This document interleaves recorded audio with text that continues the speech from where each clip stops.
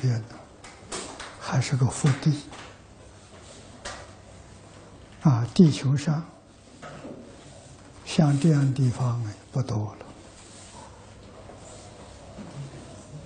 啊，诸位在媒体、在报章杂志上看到，这个地球上每一天有多少灾难？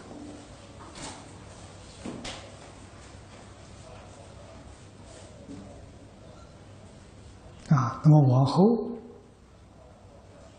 社会会变成什么样子？我们看前面。就能了解后面。过去这个十年，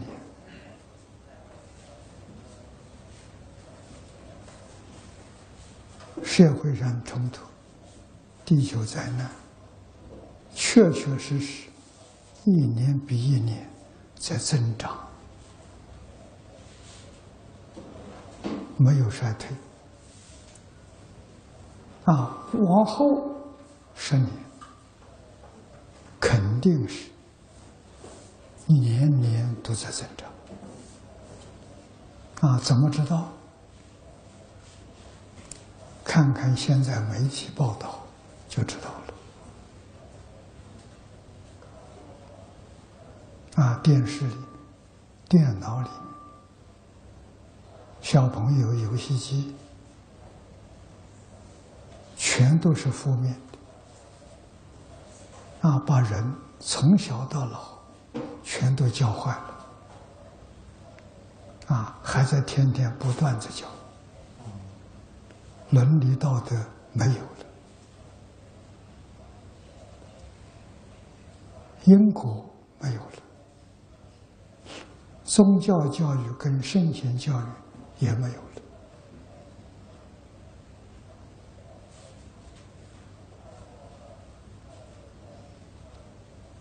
这就是因啊，因不善，果没有善的道理啊。我们生在这个社会，最重要的头等大事就是幸愿持名，求生净土，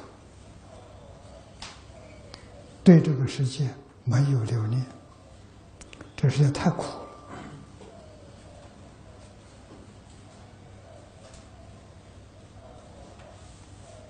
了啊！那么这今年在这一段期间当中，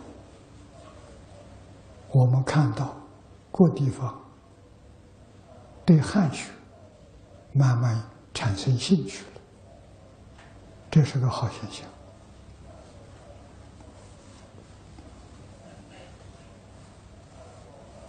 有这个认识好，但是学汉学的人毕竟是少数，能教汉学的，这老师找不到了啊！但是老祖宗教给我们求学的这些理念方法还在，那就是。一门深入，尝试寻修，读书千遍，其义自见。我们同学当中有两个人做出来榜样给我们看，啊，一个是刘素英居士，他一生就是。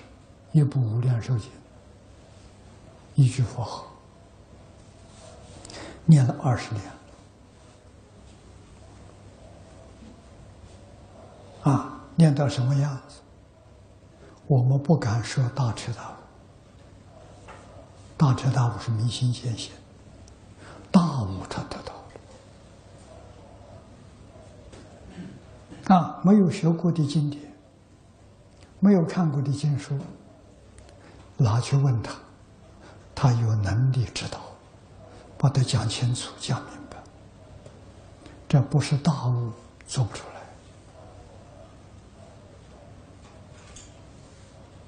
来。啊，我们这些年来在经教里得的信息，修行清净心现前。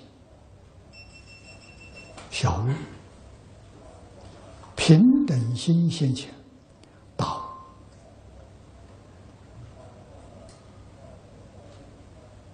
悟啊，破迷开悟是大彻大悟，大彻大悟是法身菩萨啊，大悟就是三贤菩萨，小悟是二乘，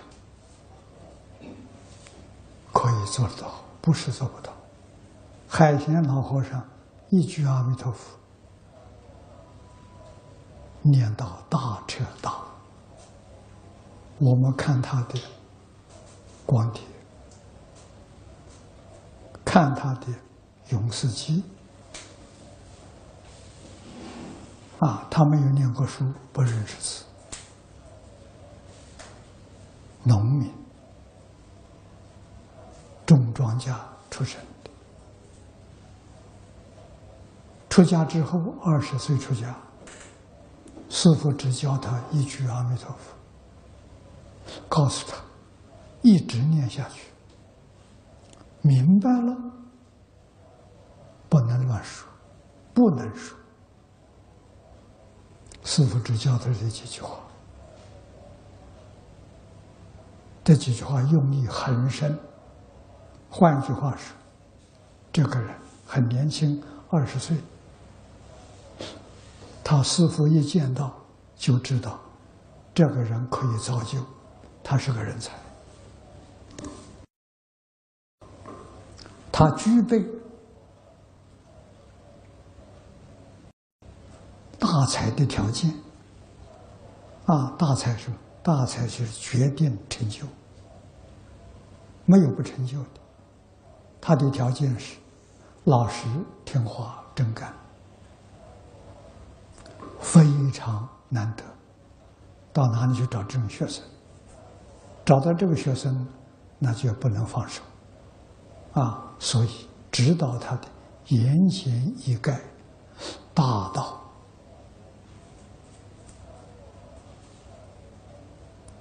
简单呐，不麻烦呐，一句佛号，你看他听话。叫他一直念下去，他念了九十二年。啊，那么像这样的人，他心是清净的，他没有染，他没有名闻利养，啊，他也没有是非人我，看一切人都是菩萨，看一切事都是好事。啊，这样的人念佛。我们看《净土圣贤录》，看《往生传》，里面不少，应该有一半以上都是这样的人。啊，念到功夫成片，就是小悟。啊，什么叫成片？心里除阿弥陀佛之外，什么念头都没有。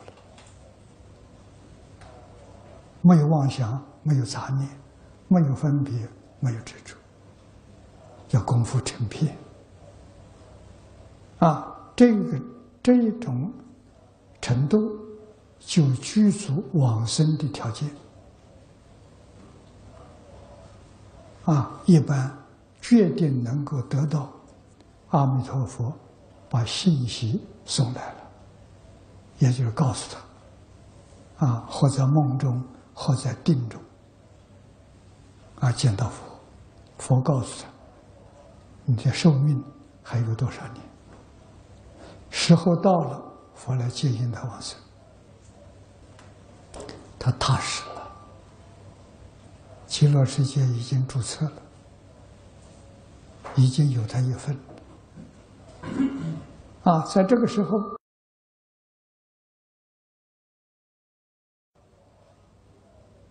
很多人抓住这个机会不放，求阿弥陀佛，我的寿命不要了，我现在就跟你走。佛很慈悲，啊，绝大多数的状况之下都能够接受，就带他走了。啊，那个并不是他的寿命，啊，好像念佛三年他就往生了，啊，其实不是的，三年到功夫成片，他不要寿命，是这样往生。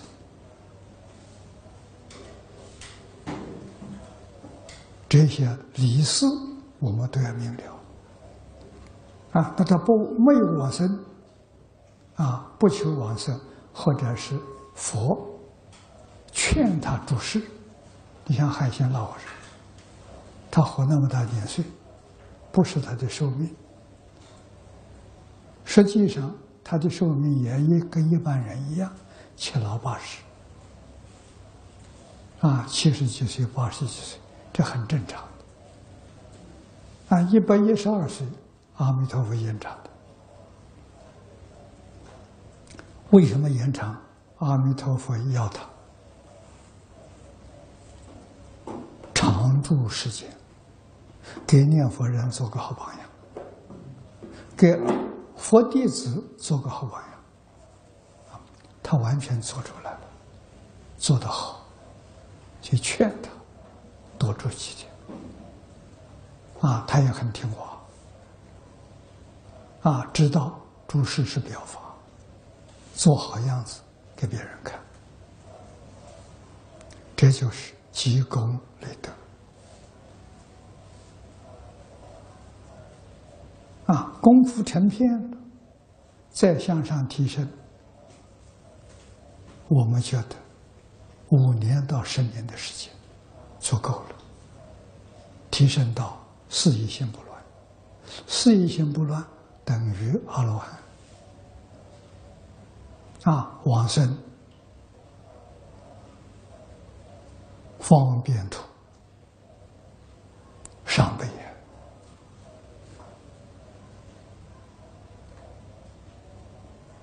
不是在同居土了，那再向上提升。我们就预算给他十年，啊，再向上提升。所以，海贤老和尚念到“理业心不乱”，“理业心不乱”是大彻大悟、明心见性，啊，也就是说，世出世间一切法，他全明白了。这就是师父早年剃头的时候教他明白了，什么明白了？大彻大悟。明白了，明白了，不能说，不能乱说。为什么？世界因缘不对。你要说人家说你胡说八道，说你造谣言，加上罪名，麻烦就大了。啊，所以要知道，唐朝时候，慧能大师大彻大悟。要到猎人队里去躲藏十五年，啊，缘不成熟。你要是露身份的时候，害你的人很多，啊，所以要躲避十五年，害钱老了，要躲避一辈子，一辈子都不敢说，但是偶尔露一点。细心的人看出来了，啊，你比如说谈话当中，曾经说过这么一句话：“我什么都知道，就是不讲。”这什么都知道，就是大彻大悟。如果不是大彻大悟，说什么都知道，这叫大妄语。大妄语是阿鼻地狱啊！他是老实人，决定。不敢说这个话，啊，他真知道，啊，过去、现在、未来，此界他方，他没有不知道的，啊，还是装的像平常一样，什么都不知道，啊，老老实实种他的地，啊，种他的菜，啊，他每天干这个，啊，看到《若有佛法心，唯有生战胜》这本书，我们有理由相信，阿弥陀佛告诉他的。你什么时候看到这本书，我就来接引你往生。这个问题，他不开口，谁送书给他看？老和尚不认识字，没有念过书吗，啊，从来没有听过经，也没有进过讲堂，谁会送书给他？所以说，不可能有人送书给他。啊，零三年一月，有几个信徒真的带了这本书上山，那稀奇啊！那他看到有人带书给他，问他这是什么书？别人告诉他，这个书叫《若要佛法行，唯有僧战胜》。他听了之后非常欢喜，啊，到房间里面穿袍大衣，恭恭敬敬拿着这本书，要求别人给他照相。三天以后往生，自在往生，没有生病啊！啊，往生那一天是晚上，白天还干了一天活。啊，从早晨太阳出来到太阳落山，一整天在菜园里面整地，啊，拔草、浇水，干一天，晚上走了。你看那表法，啊，所以大道至简，一句佛号。能圆满成就，哪里要多呢？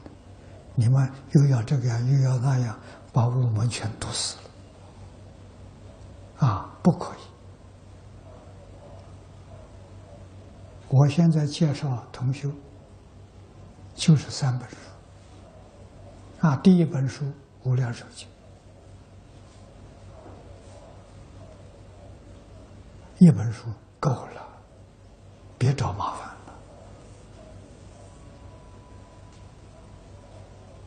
了。啊，第二本书，黄念祖老居士最后的遗教《进修节要报门谈》这本书，费了很长的时间才把它整理出来，因为老居士晚年，他是跟人谈话，学生。大概只有五六个人，在家里，他，没有任何衣柜，啊，在一块拿着这个经学讲聊天，啊，想到哪里说到哪里，所以把它整理成一本书很不容易，啊，这个我们做出来了，啊，这一本书，我们可以说是小本无量寿经。它是《无量寿经》，就是注解的补充。《无量寿经》他做出注解，这是注解的补充。你看不懂注解，你先看这个《报恩坛》。《报恩坛》看完之后再看注解，就懂了。啊，你就会看懂了。啊，这个《报恩坛》也可以说是佛学概要。他在这一点点东西里面，把佛法、大乘、小乘、宗门、教下、显教、密教全部都设在里头。啊，你对整个佛法的时候有个轮廓的认识，好，非常之好。啊，这本书重要，我看了将近一百遍了。啊，还越看越欢喜。啊，第三本书就是来佛寺这三位大德的永世集。啊，这是什么？这给我们做证明，证明极乐世界真有，阿弥陀佛真有，弥陀四十八愿度众生不是假的，是真的。啊，那么最贴切对我们的帮助，为我们证明下联句老居士的汇集本。真经，字字句句释迦牟尼佛讲的，他没有改动一个字。啊，证明下这个黄念祖老居士的大境界，你看看他收集的八十三种经论。一百一十种祖师大德的著述，做成这一部《无量寿经》解，我们可以用四个字来肯定它：这个注解正知正见啊，没话说的。他字字句句下面注明出处，从哪个地方揭露过来啊？那么报恩坛就是大境界的补充，说得更清楚、更透彻啊，让你不能不信啊！这三样东西。海鲜老和尚给我们做正传，让我们断疑生信啊！依照这三种东西来修啊，三种东西以无量寿经为主，每天读个几部就可以了啊！要在报恩坛上下功夫。报恩坛上真正的利益，回过头再看大经解，很容易，你全明白了。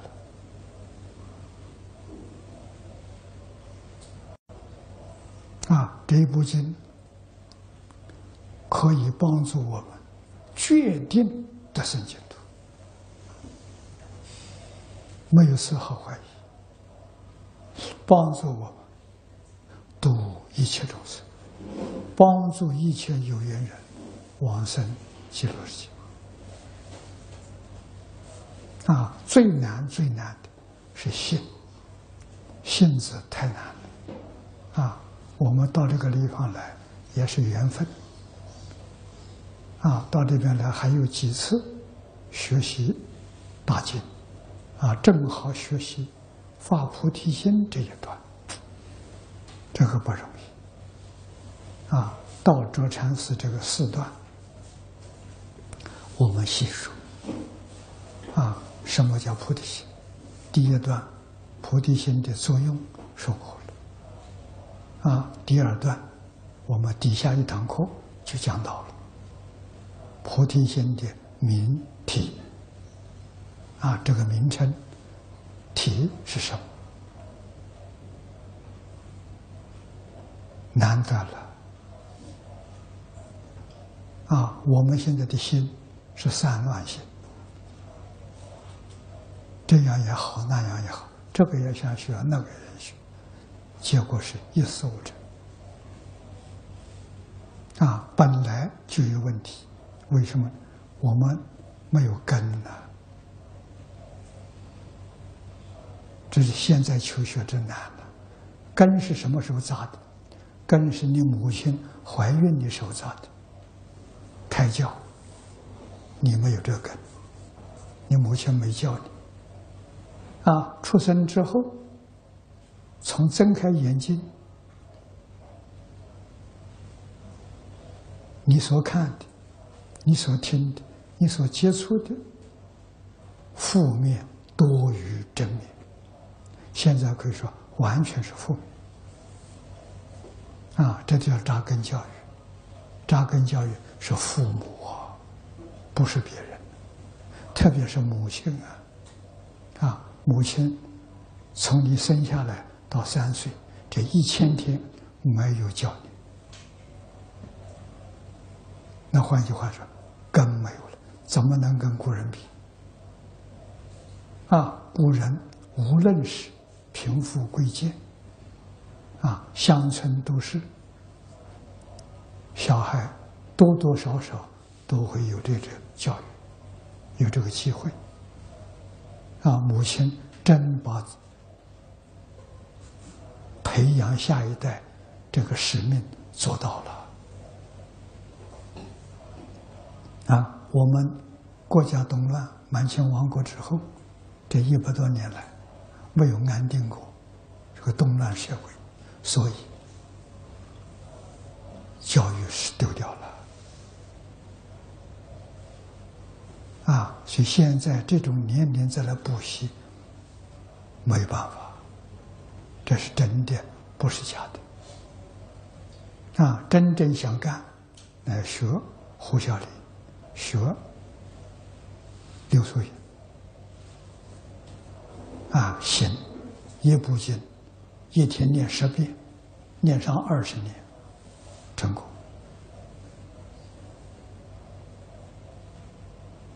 啊，他心清净，他什么都不想，什么都不要，名闻利养边都不沾。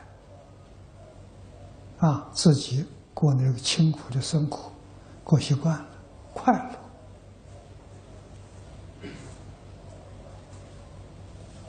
乐。啊，这种快乐就是法喜充满。啊，第二个，胡小林。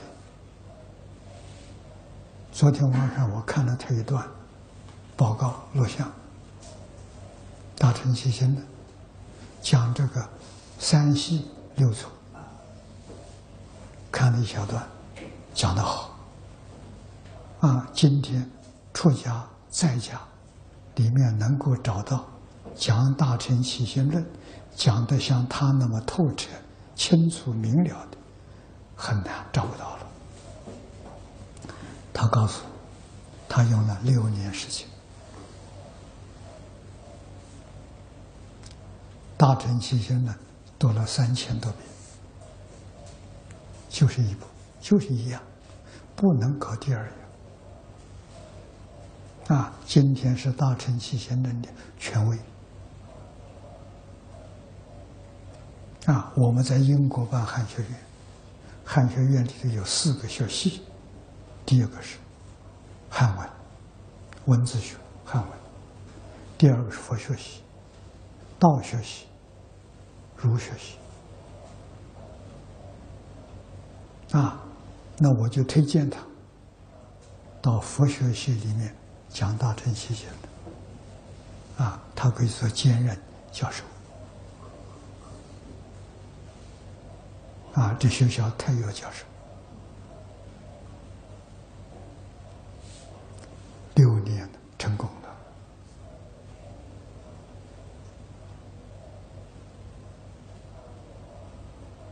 我在四十几岁时候，佛光山，我在那里教佛学院，星云法师找我。我担任教务主任，我跟他建议，那个时候有一百三十多个学生，啊，三个人一组，分成一组，专攻一部经，时间十年。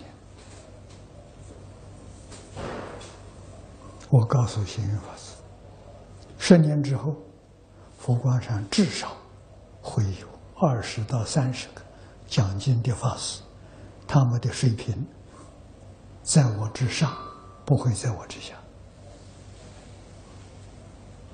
他不能接受，他这不像学校。我说像学校，不出人才，不像学校出人才。啊，他不相信，我也就离开了。我在佛光山住了十个月，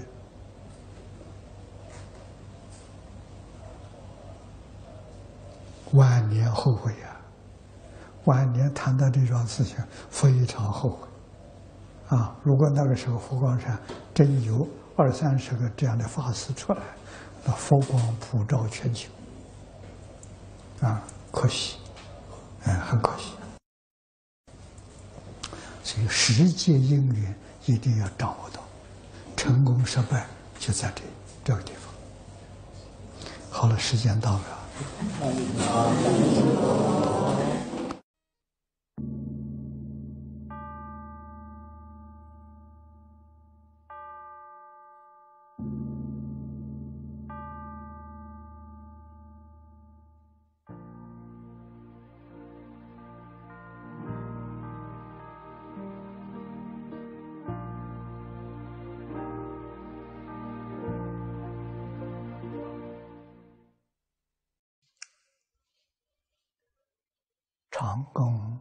老和尚慈悲，清宫和尚慈悲，各位法师、各位同修慈悲。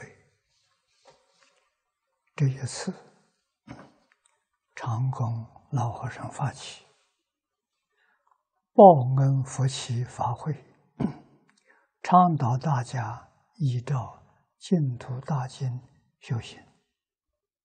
效法海鲜老和尚，一门深入，长时熏修，一句佛号念到底，一心求生极乐世界，圆满无上正等正觉，这是功德无量的大事因缘。长公是我的老朋友，我们认识。将近四十年，他希望我跟大家讲几句勉励的话。正好，我也是非常敬佩海鲜老和尚表法的精神，所以就恭敬不如从命，在这里提供自己佛前的一点修学心得，仅供大家参考。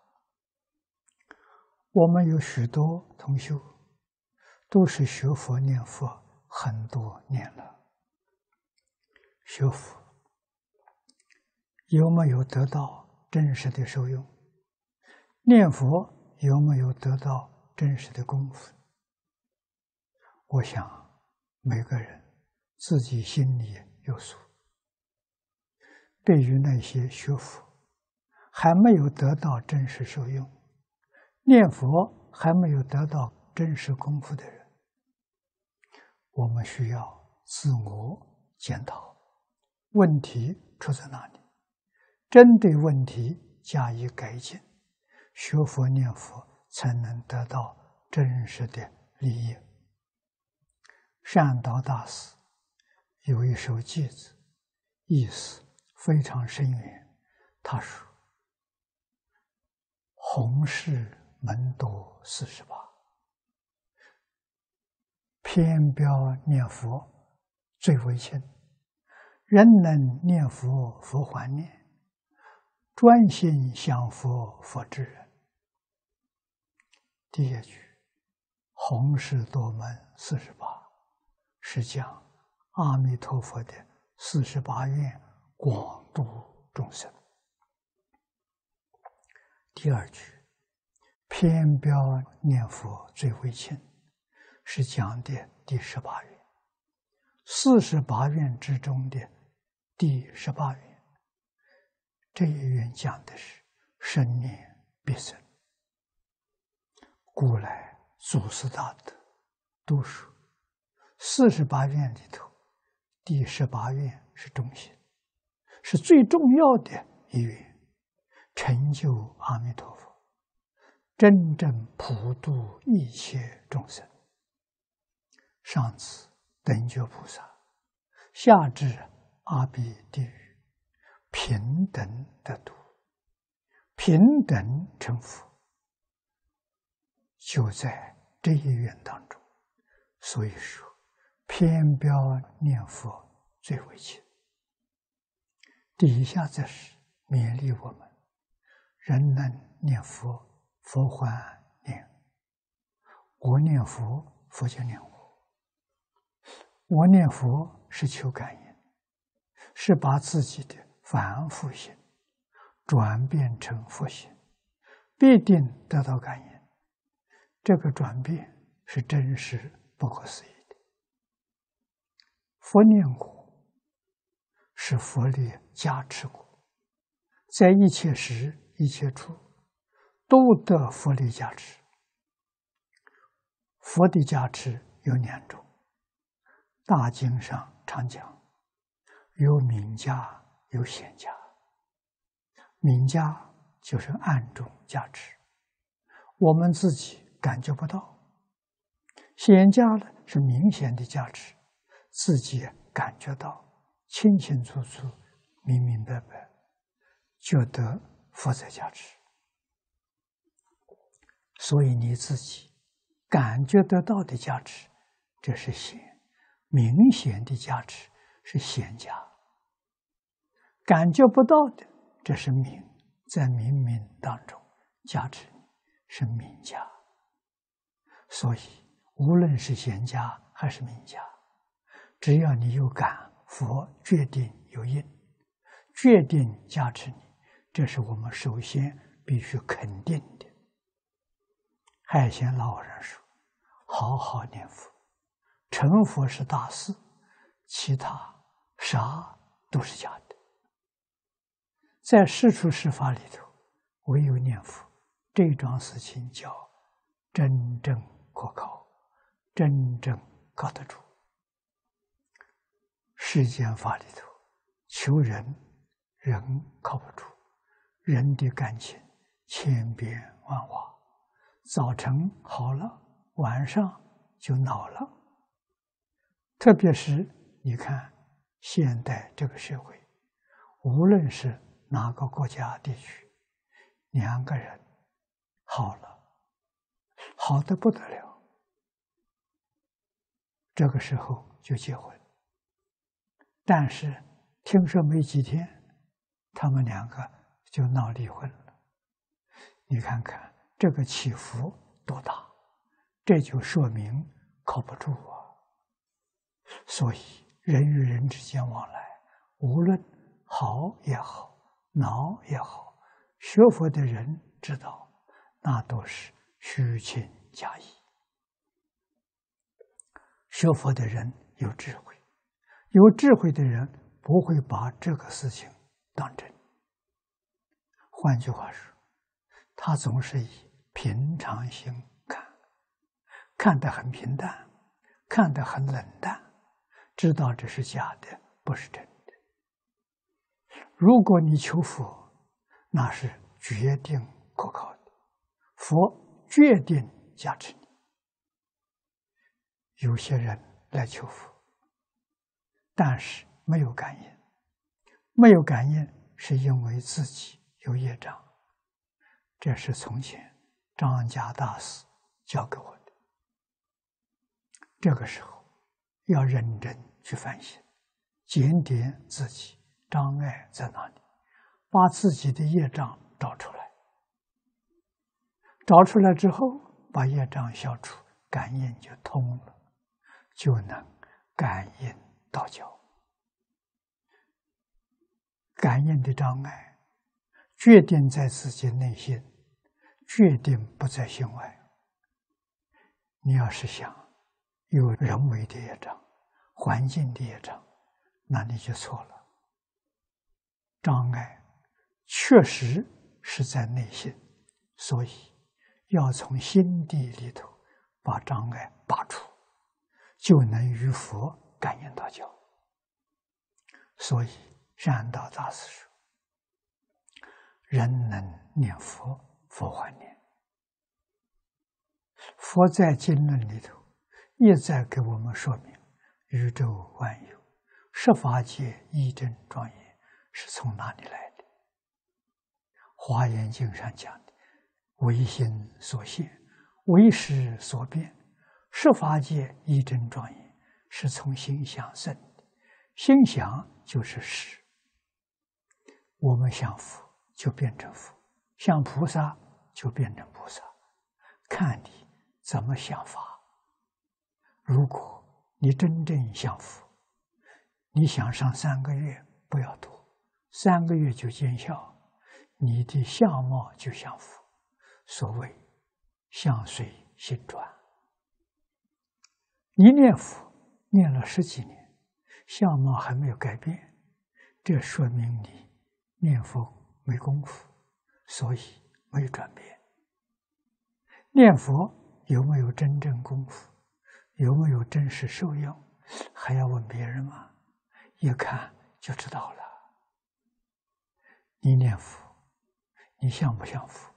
念观音菩萨，你像不像观音菩萨？三个月就有感应，就转变了；半年就有显著的变化。如果有个老朋友，你跟他三年没见面，他要是见到你，一定非常压抑。所以，你从这里看到成果了，相貌变了，体质变了，体质也是从心想生。这就是学佛念佛的感应。有些同修是在说，生活的很可怜，很想改变自己的环境，却又改变不了。毛病出在哪里？